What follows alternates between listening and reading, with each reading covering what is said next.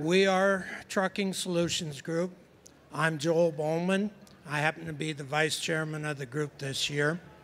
Um, our purpose, and Stephen, if you'd change the slide there, we are a group of professional owner operators, fleet owners, and uh, different carriers. We're striving to improve our industry through constantly growing and sharing our knowledge with everyone else. Um, we've acted as a professional focus group for um, different manufacturers and other groups, beta testing some products and services, and trying to help um, potential impacts of proposed regulations and the rules for our industry. The group itself has about 280 years of trucking experience, 230 plus years as owner operators. Organizations we belong to besides this group are Trucker Buddy, Women in Trucking, Western States Trucking Alliance, Team Run Smart, OOIDA, Boy Scouts of America, Sons of the American Legion, Colorado Rockhoppers, and we also are members of the Aluminum Foil Origami Society. Members on the stage with me today, starting clear over to the left, is Linda Caffee, who happens to be our current chairperson. Her husband, Bob Caffee, is sitting next to her. Then we have Henry Albert, Sandy Goche, Stephen Halsted, Mark Heggestad, Jimmy Nevarez, Shane Rizzuto, myself, and the person to my right is not a member of our group other than honorary. He is going to be helping us after the introduction here. I'm about done talking. We're going to show you all the different topics we talk about when we get through these slides. Um, well, while that's going through, let me jump ahead here.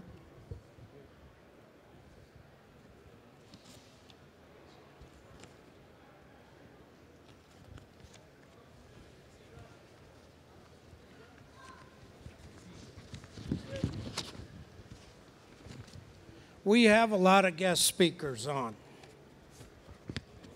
Some of them are truck stops reps from the oil industry, GPS representatives. Some of them are industry research.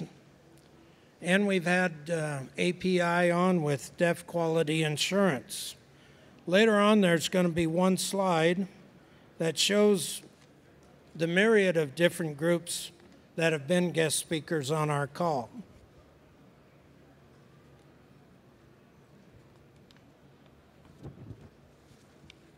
Some of the general topics we'll talk about our maintenance, new, new ways of keeping our trucks running, fuel discount programs. As we all know, probably the biggest expense of any truck is the fuel it takes truck stop issues, trailer registrations, sometimes where it's the least expensive to buy a trailer or to register a trailer. And then one of the last topics we call witty banter. That's basically where we tease each other, but it also comes in we share the experience somebody might have had which leads to someone else knowing who to call to solve that problem. And then, like I said before, friendly ribbing and sometimes the aluminum foil. So, when we get to it, right now I'm going to pretty much be done talking. If any one of you has a question on one of the topics that we showed up there, and we'll get to a slide here that kind of covers all that. we want you to ask about it. If you don't ask, this is where Bob comes in. He's going to ask the questions for it. And, it, you know, just keep the talk going. Right now, we're going to go very extemporaneous. And anybody have the first question for us? Here you go, Bob. All right, welcome everybody. Welcome all. Glad you could be here today. Um, the first question I have, and anybody on the panel can take it. What are the top three issues facing trucking today? The top three issues. S- Jimmy, and pass pass the microphone to Jimmy. So, I mean, one of the main things, I'm, I'm out on the West Coast, and uh, where my trucks run, one of the biggest problems we have, especially near the Los Angeles area, up near the Bay Area, and things like that, is truck parking. Everybody knows truck parking is a, a huge uh, problem out there. There's not enough of it for as many trucks that are on the road. So, uh, some of the things we talk about when it comes to truck parking is where do we park a truck? You know, as a group, we're able to bounce things off each other and, and take topics like this and talk amongst each other, find solutions, come and network at trucking events. And we find things like apps where people are starting trucking, and it's almost like you can rent a space kind of like you do for uh, Airbnb or something like that for truck parking. Uh, things you find like that. Um, you network with other carriers, use other yards. You can uh, start to look on other parking apps that aren't quite like Airbnb. They have set sites all over the country where you can start to park trucks. But we see a lot of stuff going on with truck parking right now. Uh, a lot of people trying to find the solutions. So one thing that we always keep keep on top of, especially with my drivers, is where are you parking and where are you safe at night. So that, that that's one of our top issues. Okay. Um, Sandy, you want to? Sandy, you want to uh, list your top three? You want a second Sure. problem? Well, in my case, co-drivers is a big issue.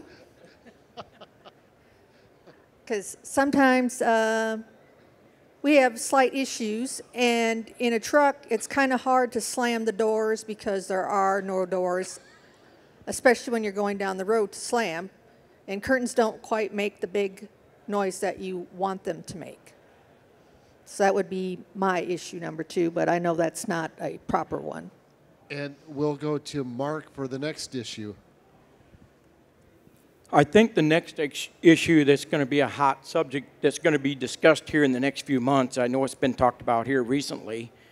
Some of us maybe haven't experienced it, and maybe some have, but lately there's been a lot of calls that you get, uh, I like to call them telemarketers, but in the trucking industry, as myself, as an independent owner operator, I am getting several calls for dispatch services. I can make you more money than you've ever made. Well, the first red flag I'm going to tell you is when they tell you that, there's probably too good to be true. So you've been hearing a lot about uh, double brokering, triple brokering, and the fraud out there.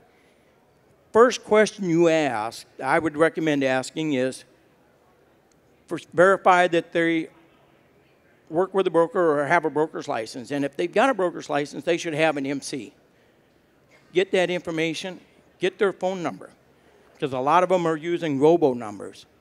So I suggest do your homework, check everything out. If you're uh, on a load board, looking at the spot markets, you know, using that for your freight to get back to wherever you need to be, if you've got regular freight getting out, again, do the research, verify. There's a lot of tools out there to verify. I mean, you got the safer system, you got FMCSA that you can go to. But right now, that is probably my biggest issue I'm running into is I can't begin to tell you how many times I've been on a call with some of these folks here and say, hey, I got to grab a call here. I got to put you on hold a moment. There's a lot of third party agencies out there trying to make an extra dollar. And I heard a pretty sad horror story yesterday uh, that happened with a very legit large carrier. Uh, they brokered a load to a carrier. That carrier then brokered it to another carrier. That carrier brokered it to a third carrier. By the time it was said and done, the original load was po- posted for $4,000. The last one agreed to pay $7,500. That load did not even pay $7,500. And the only way the first broker found out is somebody come looking for their money. And they had to tell them it wasn't even our load after that. So that's getting to be a real big issue, and that's where we all got to work together and communicate and share that information and share it with your peers. Thank you, Mark. Um, who else would like to? Henry, one of your top top issues. I'd say one of the ones that people are having a hard time with is the modern technology that's employed in today's trucks and how you spec them out that they're going to be reliable and efficient so that you can get the best return on the investment that you put in it. And many of us, when we've ordered trucks, we've started bouncing specs back and forth. Some of us have relationships with the manufacturers of the trucks and, and bouncing back the information to get you where your maximum efficiency and return on the investment has been a very helpful part of this group as well. Along with having those relationships and knowing other people, I know different times people have had problems and they started sharing the problem they were experiencing with their truck. Somebody within the group knew somebody and always somebody ends up knowing somebody that we get connected and fixed. And sometimes it's quite simple. You just had one of them yourself, Mark. Yeah, that, that's a great subject there, uh, Henry. Well, I was looking at initially probably $5,000 plus based on an initial walk in quick assessment. As it turned out, it cost me some time, some phone calls with the peers here, and I was blessed enough that uh, it probably took me about a half hour of my time uh, to actually fix the problem. Uh, but cost wise, it literally was no cost otherwise, but to find it, uh, was talking to the peers I was delivering, and that particular customer gave me a couple spare parts. We pinpointed where the problem was, and we fixed it. But I was looking at some pretty significant cost if I would have left it up to a mechanic shop to uh, go through with their diagnosis. Plus, you know, as well as downtime. And it was interesting because, uh, as Henry said, one of the fellow drivers in this group experienced the same problem I had, but just on the opposite end of where the problem was at. So, with having a network like ourselves, that you could all do the same, uh, communicating with one another, or even reaching out to somebody in our group, we can help you with that. All right. Um, any questions in the audience yet? If you, raise your hand if you have any. All right. I'm going to jump to one of the topics brought up here, and it's parking. What is the solution to the parking problem? How is it solved? Who solves it? Um, you know, it takes it takes an army to solve a problem like that. The the real deal with parking is that you just have to go out and do the research to find it. You, the fleet owner, the driver, uh, anyone that, that is involved in the process needs to go out and find the solution. There is not going to be one solution to, to it. It's too big of a problem. Um, when it comes to truck parking, I do my due diligence as the fleet owner, uh, managing my drivers to be able to find parking and help them. But at certain times, my hands are tied with other issues, and they go on and try to find it. But we've made access to uh, trying to use these new apps and things. Uh, I've even gone in a partner back in California uh, as a partner with someone to, to secure four acres of truck parking. Uh, and put an investment into the truck parking solution myself um, just because it is such a big problem. But it's it's seeing we're seeing more and more of the paid parking and things like that where it's going to become inevitable that, that free land is going to dry up. So uh, the quicker I think more people start adhering to that, finding parking solutions, and then searching for the cheaper solutions in the harder to find spots, then it's going to become uh, a little bit better as we go along and find more of it. But until then, until people start freeing up their lots, freeing up their warehouse space of, of places they're not using, and that's what we're seeing in some of these apps is they'll take a spare spot they have in their warehouse that they're not using or their warehouse lot or out in their yard, and they'll put it on these Airbnb type parking apps, and then they'll actually rent those spaces out for parking. So the, the, the solutions like that, little to big, um, are, are going to make a big difference across the board, and everyone's going to have to do their work to find the, the right parking solution. Uh, and Henry wants to add to that. Really, to me, the parking issue, there's, there's an overlying thing and when you study the history, the, the problem is the truck stops became used as terminals for many of the trucking companies. Prior to deregulation, most of the people went in there, they ate. We didn't have the big sleepers we have now. They, they patronized the restaurants. There's just no money in parking. One of the figures from doing research in that I found was interesting, just to maintain the average truck stop parking spot at a truck stop is $23 a day. There's a lot of things that we don't see in it. Them monitoring their groundwater, they got to dredge out the bioponds with them, and that's millions of dollars. There's just not enough money in truck parking, and if we don't support parking, it, it costs me more to park my car if I go downtown than it does to park a tractor trailer. There's our answer. How many parking spots would be in a city at a football game? It costs more to park for a football game. You know, to, to me, that's been the biggest problem with truck parking. There is no market or profitability in it. He knows. Okay. I think one of the key things that have worked for myself is, yeah, everybody says there's a parking issue, but what I have found that works for me is the first thing I do is I look to see where I'm going to either deliver or where I'm going to be picking up.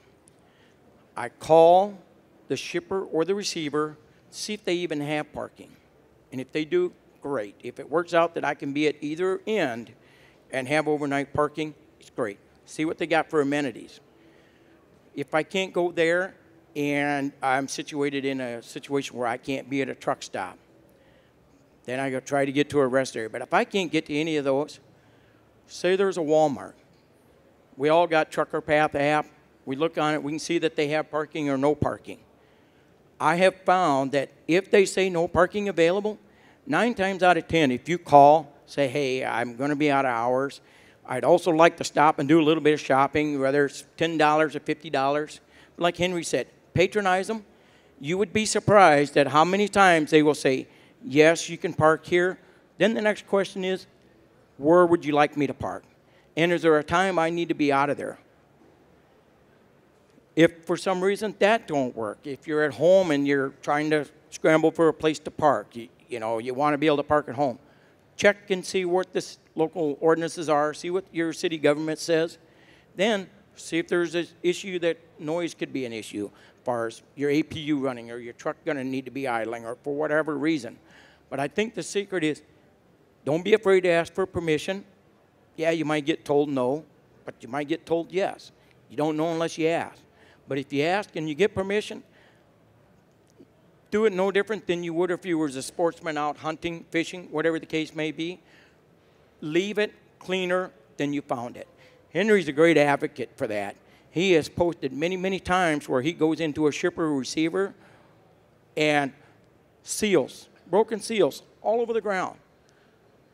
The seal's in your hand on the back of your trailer, literally, to pop it why let it go to the ground and spend the energy to pick it back up? Put it in the garbage can. Same way at Walmart parking, same way at the truck stop. How many times you go into the truck stop and there's trash all over the place? I have watched drivers drop the garbage outside the door. We wonder why we don't have parking in some place. Sometimes we might be our worst enemy. But at the same time, again, don't be afraid to ask. Shane, you want to add anything to the parking? I would kind of agree with Henry. The the truck parking. I know a lot of people complain about the reserved parking and paying for parking, and it's just there's, it's just not going to be free going forward. We're going to have to start paying, and I think that's the future. And I think a lot of these apps, like Jimmy was talking about, where people are coming up with extra space to park, uh, I think it might be the the answer we're looking for for the future. All right, thank you. Anybody else in the parking? All right. Any questions from the audience? You, sir.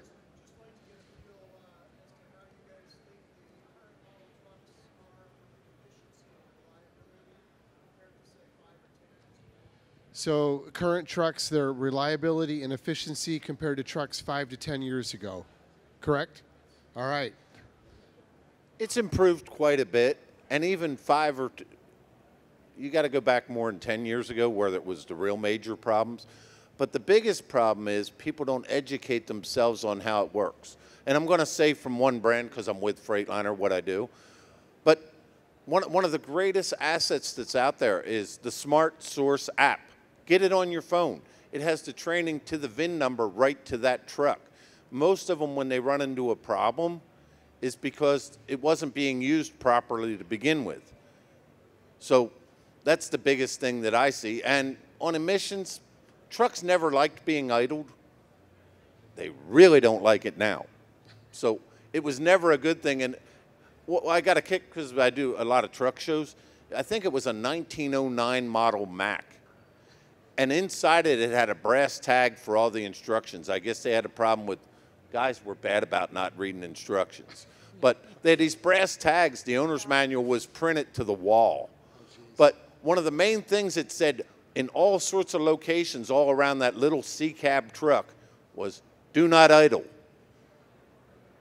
They're still fighting that battle. But I have, I, I look at mine, I haven't had that many problems. Uh, well, I haven't really had any to speak of other than regular maintenance.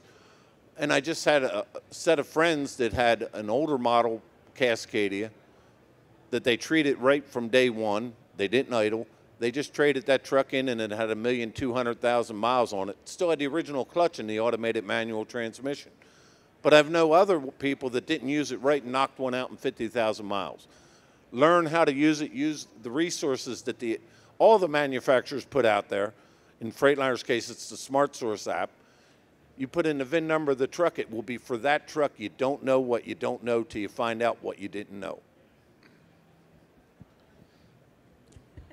I'll address something there. I was talking with a friend, and he said he was constantly fighting the truck. Automated manual transmission. He wanted to run at 1600 RPMs because he knew that's where everything should be. Once I explained, no, you're in a downsped, it really wants to run at 1200 RPMs. Saw him a couple weeks later, and he came up and said, Joel, that five minute talk we had did me very well. I'm not fighting the truck anymore. It's a pleasure to drive. So, like Henry said, learn how to work your own truck. Joel, in your case, before you got your truck, how much time did you spend studying the videos before you ever got the truck? but because of that, you've had great results with it. Oh, yeah, yeah. Um, I had to wait about eight months before I got my first Cascadia. I, through Henry, I knew the Freightliner had put all the short videos out of all the different tech pieces, like the integrated power management, um, how to, the automated transmission. Um, I watched them you know, at every weekend because I'd pick up one little more tidbit. So when I finally got the truck, I knew how to run it. It worked very well. All, all of this goes back to our motto or, or our, the topic of our speech you, you learn and adjust. And, and everybody here has had to, for the most part, has had to come from a truck with a manual transmission and a 19, 2100 RPM engine down to these newer downsped engines. Well, Lynn and I just got rid of it out of uh, 2019 and are get with an auto shift transmission and getting into a 01 Mack with a manual transmission, no air ride, dump truck. so we're actually going backwards, and uh, it's it's actually been a challenge. We we got used to the adaptive cruise control and all of the the really good stuff that's on the newer trucks. Stepping backwards 20 years is is it's it's been a challenge. It's been a good thing, but it's been a challenge. But we're adapting. We learned, and but that's where I started out back in the 80s is working on Mack trucks. And because of his experience, none of the, us are following them.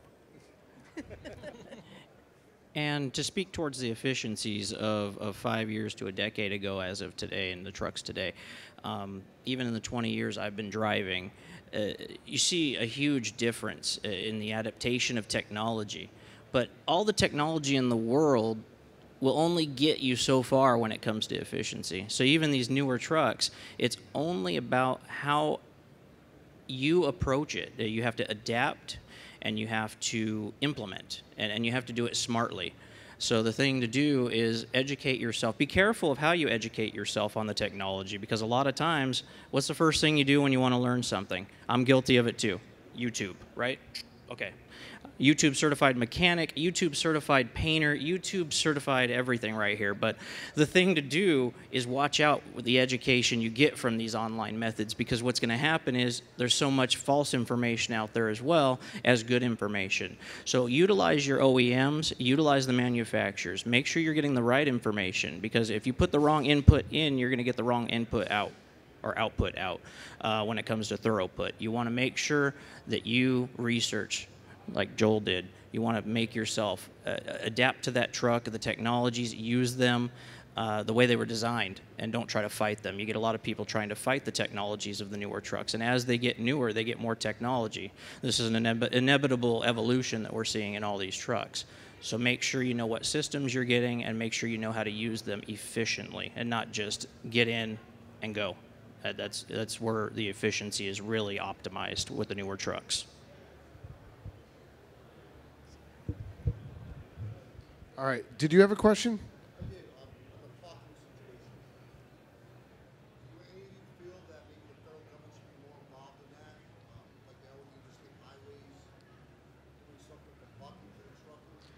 So the, the question is regarding parking, should the federal government be more involved in finding a solution to the parking issue? Correct?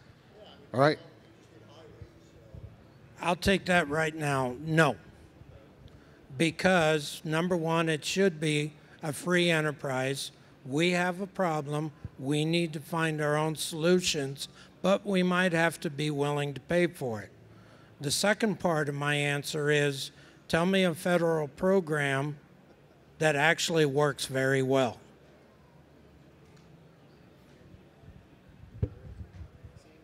we have had states actually call us and been on phone calls with us and asked us, what can we do to help you guys park? And a lot of the solutions are your rest areas. You've got a lot of green area that you're not using for anything. Maybe put in a few more parking spots for trucks. That right there helps tremendously. I mean, like the state of Indiana on I 70, they basically doubled their truck parking. They bought a little more land behind it and they switched where trucks parked and where cars parked, but they doubled their parking. And we had other states call us and say, well, hey. And we basically said, well, look at Indiana, see what they did. Because they, they doubled their truck parking in the rest areas. And that right there is a big, huge help for places to park. following up on that, what Sandy said, Missouri called us, not just the parking, they asked, asked us what amenities we would like to see in the rest areas. What was the most important things we would like to see in, in those rest areas also besides the parking? We have a little bit of disagreements on this because I don't want the states or the government to provide any of our parking spots because they never spend money efficiently. It's a private industry thing. We're a private industry. Let us solve our own problems. The more we keep them out of it, the better we are.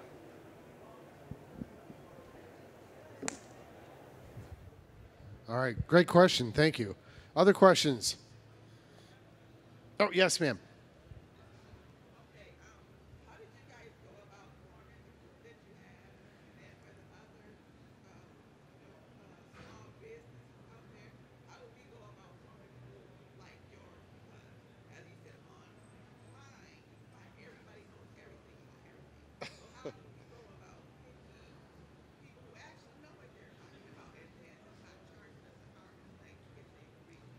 So the question was, how did you guys go about forming this group, and how can she go about forming a similar group for a smaller type business? How do they get the help? Where do they go for something like that? The foundation of this group came back way back. It was the 20 group, and it was actually Kevin Rutherford's idea that does all the Let's Truck stuff. And car dealerships do the same thing. It's called a 20 group meeting, where you have groups of people that aren't competing with each other, because we're from all over the country, but we have a conference call once a week. In our case, it's every Tuesday at 2:30 when I remember it, or I remember the time zone right. But and, and we get together and it's just a sharing situation. You know, who do we have on? You know, is a government regulation changing? Okay, we might lobby for what we want, but once we got the rule, we got the rule. Do we have to figure that rule out perfectly? No, but we need to figure it out better than our competitor did. And that's the sort of thing that we do. It's like, how do we make this rule work once now that we have it? When the 14 hour rule hit, that was a big one. But amongst us, we found out how to navigate that better than our competitor did because our competitor had the same rule. If you sit and you're looking for a way to make things not work, that's what you're going to find. That's part of our name now that it's became solutions. We're looking for a solution how to make it work. Not always perfect, but all you got to do is be better than the other people to be first. So, uh, when it comes to the root of your question, uh, how do you form a group like this? That's that's the importance of why we're up here with everybody too, is to show you that um, not everybody knows everything. The minute you start thinking you know everything about the industry, you probably need to get out the seat and get out the industry because it's always an ever evolving, ever learning thing. You're taking the first steps now by being at a truck show like this to forming a group. A lot of us met through truck shows just like this, um, going to them all over the country and, and meeting each other. Because we're all from all over the country. And being able to have social media now is key as well because you can find those groups. You can go on, find people, and then bring them to your own group. Let's say you want to start your own trucking solutions type Facebook group and then invite people in that you know. You meet through the industry, shaking hands and, and doing things like that. So i you're already taking the best step you can, getting out there and networking, and, and then you take it from external networking like this and bring it internal. And you start going by word of mouth and being able to have additions that way. We refer new members into the group that way that we find out there in the industry that we stumble across, shake hands, and meet people. And then if we find that they have the same commonalities as all us share and, and, and the witty banter is, is, is where it all is, is, is matters. Find people you get along with. Find people you can pick on. You know i'm, I'm, I'm find people you can you can you, you can not you know we don't get offended. All of us we, we we go pretty hard at the witty banter on these calls. And and you can you can see whether it's based on someone's height or someone's age or someone's uh, uh, ability to miss the calls so much. Uh, like, like, I don't know who that might be, but um, it's, it's definitely something that you want to find people you get along with, share commonalities, and then find your own solutions to your problems. Because no one will ever know, uh, not, not one person will ever know everything in trucking. Adding to what you said, Jimmy, make sure that your group is diverse. Like we've had reefers, tankers, car haulers, there's some people that have come and gone, some have retired. If, if you're all agreeing, if you're looking for people to agree with you, you're, you're not going to move forward at all. And sometimes we just end up, well, we're just going to disagree. But if, if you agree on every subject, how can you expand your horizon? Because you've just surrounded yourself with your same thoughts. So you're not going anywhere. And, and know that you're just going to, you don't have to dislike the person, you can disagree, have that broadness that you can bring a new idea to the table that way. Now, to, to go on what Henry just said, surrounding yourself with like-minded people, we're, it's it's just in life in general, but in our group, it's the same. It just surrounding yourself with like-minded people and getting together and, and having a conference call, and, and I think the group will just build upon itself over time. So People that, that want to improve what they're doing, not just stay the same, but want to improve and help each other improve.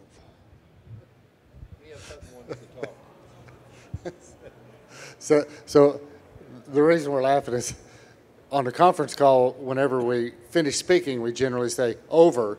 That way everybody knows we're done talking and we don't talk over each other. And we're sitting here trying to, it's like, this, this is a passionate subject for all of us because we've all come, you know, we, we were in a straight truck box, um, expedite. Uh, Henry's in a dry van running automotive freight. We got a flatbedder. Um, Joel's in a flatbed, open deck. Um, just all different segments of the industry, and we've all been different parts of the industry. I was a mechanic for 20 years before I started driving, so it's there's all kinds of experience sit behind the wheel of, of these trucks, and you don't have to know everything, but if you know people that know th- people that they can call, you can get questions answered and, and problems solved before they become really big problems for you.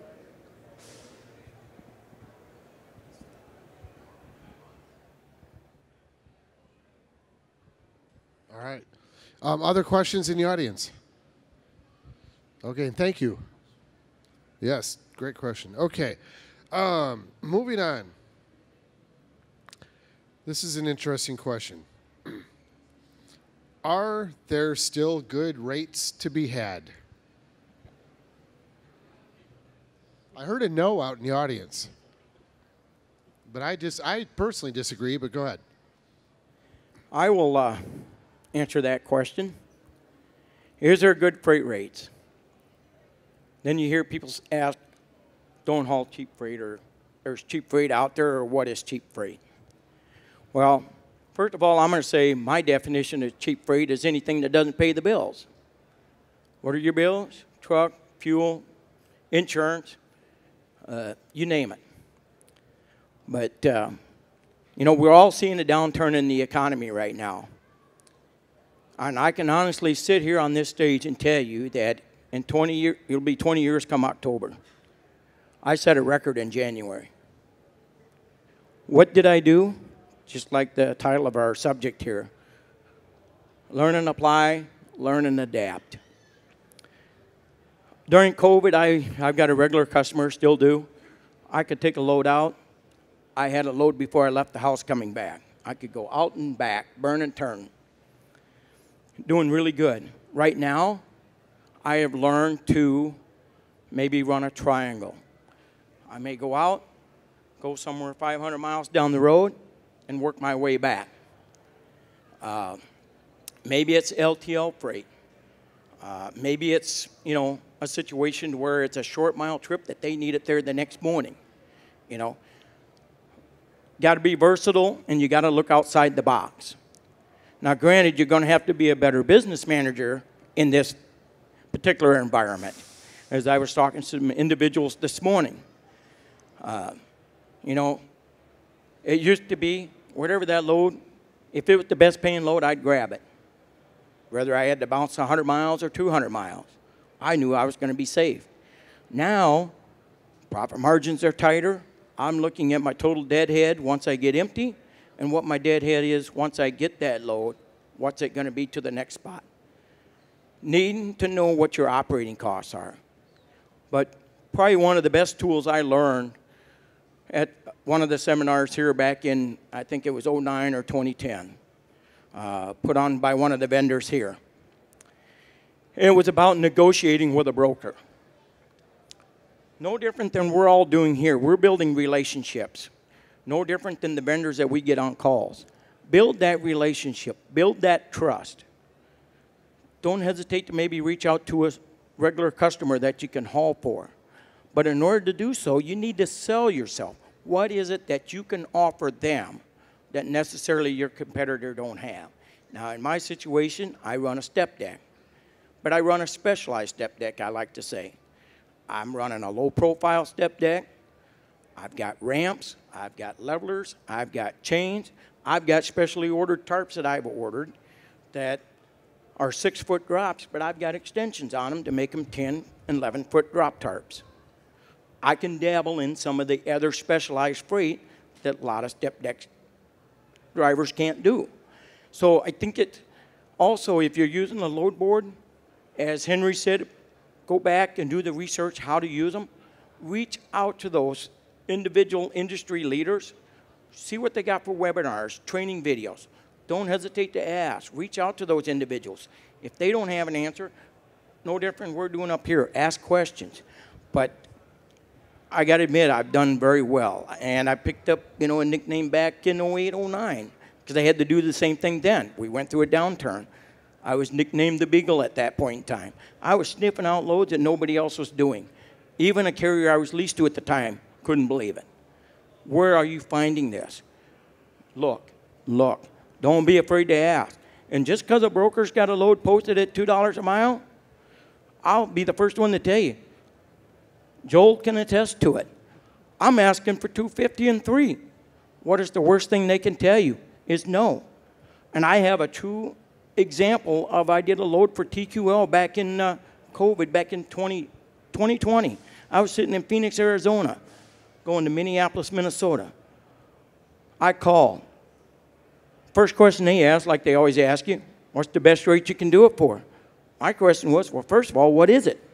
Is it legal? TARP? I'm asking all the details I need to ask. Found out that it was a partial load. Great. I can put more freight with it. Well, he turned around and responded back, Well, I need it there Monday morning, and it's on Friday afternoon. Light bulb's going off. Oh, you want expedited specialized service. You want it there right away. I can't find anything else to go with it. So I had a price in mind. He said, What would you have? I said, I want $5,000. And he's like, Well, I can't do that. He said, I was hoping to get it for 25. But he said, How about if I meet you in the middle at $3,700? Guess what? I took it. Because it was way more than he was willing to give. But I also had the argument with that very broker look at my record with you. Have I ever been late on a pickup? Have I ever been late on a delivery? Have you got any claims on me? Nope, everything looks great. Have I ever canceled a load? Nope. Those are the things that will separate you from your competitor.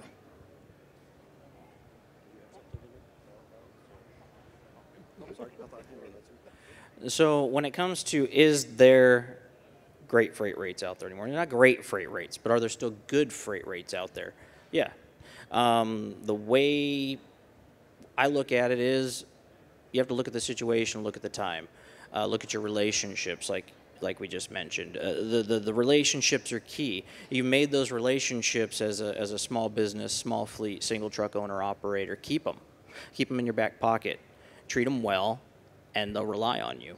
Um, are, are we looking at things at a different light now? Yeah, we are. Um, but is it is it to where you can't negotiate still? No, you can still negotiate. You can negotiate as much as you want. Uh, educating yourself on the loads that you're taking, educating yourself on what you're doing, asking the questions. That's where a lot of people are so quick to jump on.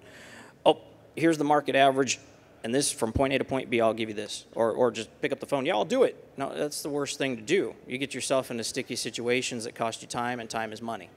So what you want to do is make sure you have those relations. We, we have a mixed volume of freight. We have direct customers, and then we haul some spot freight. And it just depends on where we're going. We've diversified ourselves to where what we can do is take a lane that, that was not even something I would have considered our trucks running two or three years ago um, taking a one-off haul for one of our direct customers and it becoming our primary business. So over the past, you know, six months, something I wouldn't have considered ever doing with our trucks has become our bread and butter because of a relationship I've made before in the past. Now they're relying on us. Uh, they're paying for the service that we give them, and and that's what we continue to do.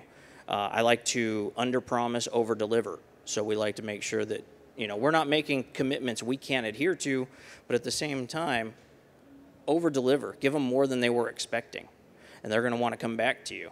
I've got probably 500 emails I go through a day with just offers from people I've worked with in the past, direct customers and brokers. And I got to filter through that and see what matches up to what my trucks do. And I go back to them, and you know, we'll go back and forth. It's almost like uh, Pawn Stars, you know, where you go in there and uh, what do you want to do it? You make an offer, you automatically know they're going to come back to you and cut you in half. I mean, that's just the given nature of the business. That's the nature of the beast. Um, but where you want to make sure to set yourself up for is not failure. You know, don't be the lowest priced carrier. That, that's, that's been one of my secrets. Be the best running carrier. And if what I know my operational costs are not going to be met by this specific load, I'm not going to take it out of desperation. I'll let someone else drive themselves out of business, literally. I'll answer that one for myself and I think for Shane. We're both leased to different companies, but we trust the company to give us good rates. And, you know, they've a set rate with a great fuel surcharge. And TARP fees, in my case, as a flatbedder, goes a really long ways. I think Shane would agree with that too. Um, at, at my company, we um, train everybody to run smarter and not harder all the time. Good times, bad times. Run smarter, not harder. So, and I love the um, um, ask, always ask, always, always, always ask, because the worst anybody can ever tell you is no or maybe hell no. It's the worst they can tell you. So always ask, always negotiate.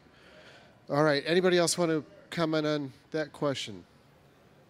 Henry? It's funny when they talk about the depressed freight rates because I haven't worked the spot market in close to 20 years. I haven't hardly used a broker in the last 20 years. I've worked hard towards having contract customers. And when everybody, when the spot market was just soaring, yeah, I was a little jealous, but I'm like, after a bit, they're going to be calling me and saying, How do you get those contracts? Well, you know, when it was real busy for the spot market, that's when you get those contracts. And I've been smooth and steady through it all, but I didn't jump off and leave them when the spot market was way high. All right, do we have any other questions out in the audience? Yes, sir.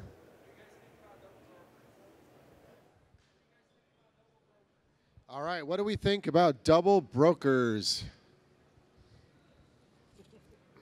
I think I addressed that a little earlier, and I'm sorry if you just got here, but um, I was actually at a seminar earlier this week, and uh, we had talked a little bit about it. Number one, it's illegal to double broker. If you see it going on, rep- report it to FMCSA. That, that's the best advice I can give you in that situation. But I think the first thing to think of is if it sounds too good to be true, it probably is. Um, there's a lot of dispatch services that are picking up the phone, robocalling all of us. I, I, I don't even do anything with them. I always, they, they always make a promise that they, I know they can't keep, and I re- reply, I don't think you can beat what I'm doing because I'm already doing that. I'm already doing better than what they can offer me. As uh, some of us have said, some of us have got direct freight, so that helps. But I think the key is do the research, check them out. If you got somebody that calls you and said, "Hey, I can offer you this," if you think it's double broker, get their MC number, get their name, phone number. You can Google that stuff up and look up the phone number and see if it's legit. But if you get their MC number, all you got to do is go to FMCSA, the safer, and you can check in, run that number. You can also check and see if their bond is current. You can see if their insurance is current, or if it's about to expire. Because I ran in them situations. I had a situation about six, seven years ago where a broker was about three months old. They actually got stiffed because a carrier had picked up a load, took it out east, and ended up being the wrong product that they were supposed to take. I said, "Yep, I'd bring it back," and as it turned out, somebody had to get uh, figure out who was going to pay for the backhaul to bring it back, and I had to go against the bond. But they were still legit. But it was a situation to where, had I done my research, I would have seen that they were fairly new. I maybe wouldn't have done that very low just because of how new they were. So again, on the double brokering, if it sounds too good to be true, just check it. And to follow up on that, uh, one of the things you can do, uh, your due diligence when it comes to sniffing out the double brokers is, uh, I know everybody likes to use DAT credit average and DAT credit ratings, but uh, be careful of those being skewed or even reviews being skewed. Uh, they pay people to go in and make good reviews on them. That's very misleading. Uh, there are not only uh, resources you can use to, to that are free. I mean, well, free for us. We have a fueling program and we have an option to use their credit checking service. Um, you can use paid things. I've gone online and seen this one that we're starting to try. It's a paid service where you can uh, credit check a broker. But what I recommend is for like what we do with our spot freight. I credit check anybody I've never done business with, and I have certain criteria. If they don't meet it, I don't care how good the load is. I'm not going to take it so definitely due diligence against double brokers. And what do I think about them? The first thing I do when I call and I, I sniff out something, I, I, I'm just I'm, I'm the first one to go digging. And I, I think it's one of the worst things in the industry right now. It's, it's definitely hurting a lot of people and, and hurting a lot of carriers that aren't getting paid for loads that they did the hard work for. Uh, kind of touch on what uh, Jimmy just said, you know, on the credit check. Um, through Internet Truck Stop, and I'm sure DAT and so forth has got it. But if, uh, for instance, Internet Truck Stop, I'll use them because that's who I use quite a bit, uh, has a factoring service called Truck Stop Factoring. If you subscribe to them, you don't pay anything to be able to be set up with the factoring uh, option. But what I like about having them in my back pocket is they have a credit checking tool, and you run the MC number. It'll tell you if it's approved, conditional, or nope, can't, can't do it. And I'm sorry, if they won't do it, why should I do it? Because they're, they're, uh, they got risk out there of a no recourse that they're going to guarantee the money if you haul it, providing it's approved. That's another resource. And uh, yeah, I mean, if that's not the resource you got, as Jimmy said, just run credit checks or get the, uh, the MC number or phone number. Let's, because I know it's happening to the large mega carriers. Somebody will call up and say, well, I'm with uh, XYZ company, and I'm so and so, and this is the phone number. Turn around and call that number back. See if it's the same person that answers. That's easy to do too. All right, great question. Thank you. Yes, sir.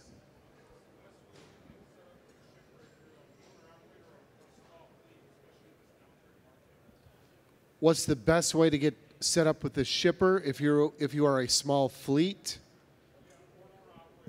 For as an owner operator. All right? That's been my specialty over the years. And I had the advantage from where I worked prior to being an owner operator. I not only drove a truck for a private carrier, but I ran their freight desk. So when you walk in, everybody wants to go in, hey, you got any freight? Why do they want to use you? They already got somebody else hauling their freight. What makes you special? Of course, everybody's going to say, oh, I'm professional, I'm on time. Trust me, nobody ever came up to the desk and told me that they were professional most of the time and they were usually on time. So that's, that's just standard bar stuff. Like one of the things I did is I'd give them an introductory offer. If somebody, a different toothpaste company wants to try and lure you to it, they give you a free sample. Or maybe they give you an introductory offer. It's good for two weeks.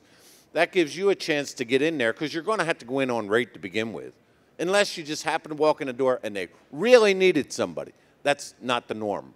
Normally, there's other people doing it. And you got to either boot them out of the way or one way or the other, right? So if you come in with an in introductory rate, maybe it's good for two weeks, whatever. It gives you a chance to see what it really takes to do their business. It gives you a chance to make an impression on their customers that they're calling back at and saying, I don't know your name, but we'll make it Bill. Send Bill, right? So, and that has paid off so much dividends. And I always looked for the customer. I always asked them, give me the customer that complains every shipment that they get. And, and I'll be there when they want me to be. And I come walking in with a box of donuts the first time. How can they be too irritated when I'm walking? Hey, I'm going to be bringing the freight, you know? And usually that leads to them calling back and saying, you know that person you sent last time? Keep sending them because you solved the problem. You got, we're here to solve a problem. The main problem is to get freight from here to there. But if you make one of their problem customers no longer a problem, you, where do you think you get to go with the rate after the introductory rate? Because now you've got the upper hand on the negotiation. And, oh, one other thing. What, what, what are they called? The SIC codes. Over.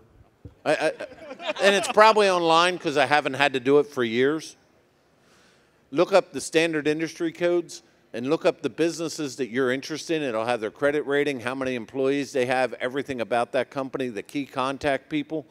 And when you walk in the door, know as much as you can about the shipper. Oh, I seen you've been in business since 1938. This is a third generation. It shows that you took interest before you walked in the door to know something about them, not you have any freight for me to haul? I'm pretty professional, and I most likely will get it on. No, that didn't go. You see where I'm going with that? But use the resources that are out there. It's much easier. I had to go to the public library when I started doing that. It was all microfilm. but I have enough customers. Yeah, I'm dating myself. That's terrible. But that stuff's well, you can probably find it on your phone now. But that's it. Over. What's microfilm? Okay, so my, my, my, my thing is um, no, it's a big computer looking thing that takes up half a room. Uh, so to, to, elaborate on that a little further, I'll give you a tip. Uh, when it comes to being a small fleet or an owner operator going after, I, I like to fish. I'm a trout fisherman. What I relate to in this scenario is when you go out, and whether it's a tournament or you're fishing for your champion prize, what do you want in that pond? You want the big fish. Okay, but guess what? all those megas and all those thousand truck fleets want the, they want the big fish too. And they've got the means to get it. They've got the fish finders, they've got every tool in their tackle box. But what happens if you're trying to feed yourself? This is your business. You're trying to feed yourself instead of go after that trophy. A whole bunch of little fish are going to cook up a whole lot more meat than one trophy. Go after the small shippers. Go after the one truck or one dock, two dock, three dock places, the mom and pops. That's where I've landed all my directs. That's the best thing you can do. And they, more, more often than not, will savor a good service over a good price. I think to add to that, like in my case, I, I knew that the particular customer I currently have had existed by doing a, a load off a board. And uh, going in there, and I provided a good service. But also, I had some customers that they had that were asking me to go in and pick up as well. And between the combination of those two interactions, it became a conversation. Hey, will you go here? As like Henry said, don't hesitate to take the lane that nobody else wants and provide the utmost service that you can do. And as Jimmy said earlier, under promise, overachieve. If that particular customer says, ask you when you can have it there, I might say it'll be there Friday, but I'll get it there Thursday afternoon. Number one, my particular receiver is going to be excited because it's there early, providing I call them ahead of time, because that's the other thing. Communication is key. Always call your shipper, get in there, see what they got, get directions, ask everything about them, same way on the receiving end. I always call ahead of time, two, three days, give them an ETA when I'm going to be there. If you run behind, call them. Hey, you know what? I'm not going to quite be there as I promised because I ran into a snafu or I blew a tire, whatever the case may be. Always stay in contact with them. But I think the other key to that as well is when COVID was here, rates were through the roof. In the five plus years that I've had this customer, I've never once went in and said, I need more money. It's always the shipper is contacting me. Hey, what are you seeing for freight rates? What are you seeing? What do you think we need to do? We know fuel's gone up. Are you okay with this rate? Yeah. Knowing that now that the market has took a downturn, I am still above the market average for that particular lane by 50 cents a mile. I am still above the market average. Why? Number one, I didn't go in there and skyrocket the rates but at the same time, I'm still providing a good service. And I will tell you that they've had two large carriers come in there and try and take freight away from us. There was one local carrier that was in there just grumbling because, oh, Swift came in here. And it was true. Swift did come in there. Another large carrier came in there. I'd asked the sh- shipping manager, I noticed you got these in here. Well, they got capacity. Guess what? They got one carrier had 250 trucks, another carrier's got 3,000. You know who had the capacity? I did. Why did I have the capacity? Because that customer is my bread and butter. I have passion in the product that they sell and ship. And they know that I'm coming back to take care of them. I also, when I deliver to the dealer that the products go to, I don't hesitate to get dirty and say, hey, where's your impact so I can help you put tires on? It's trailers that I haul. I'll help them put tires on. Why do I do that? I don't have to. But instead of taking two hours to get unloaded, I might get unloaded in an hour. And I might get a free bottle of water or a cup of coffee or whatever the case may be. As Henry said, don't hesitate to take them a box of donuts. What I do for my customer every year at Thanksgiving and Christmas, I say, hey, when you having your big party, Thanksgiving party or Christmas party? The day before or the day after, I order pizza for the whole Over. We would like to thank you all for joining us. For those to the Shade and Tony Justice concert presented by DAT, and Analytics, please make your way to Freedom Hall. But I, I guess the key to it is show appreciation to the customer that you're working with. Let them know that you appreciate their business, and they'll return it in favor back to you. All right, Henry, wrap it up there. The, real key I found was, for myself, was to look for shippers that didn't ship more than 10 loads a day. Later on, I got some of them big fish ones where I was the only single truck operator in big, big, and had some of the big fish. But 10 and under seemed to be the key. All right. Hey, I want to thank everybody, everybody on the panel here for helping out today. The audience, thank you so much. And I'm going to let Joel here wrap things up for us, and thank you again. We had a couple of our guest speakers here earlier. Unfortunately, I think they had to run back to their booth. If you go and see Gearhead Lube and Mother Trucker Yoga over in their booths in the West Wing, just tell them, hey, we gave them a shout out today. Thanks, everyone. And we'll stick around if you have some more questions.